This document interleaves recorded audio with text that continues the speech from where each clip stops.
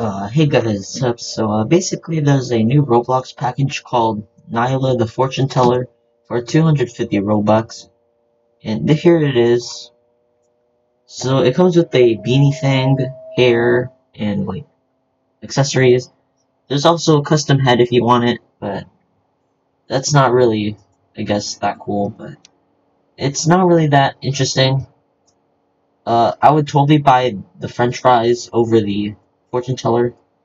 But I just wanted to let you guys know, you know, if you guys were, you know, just looking out for the new items, then yeah. But thank you guys for watching, and goodbye.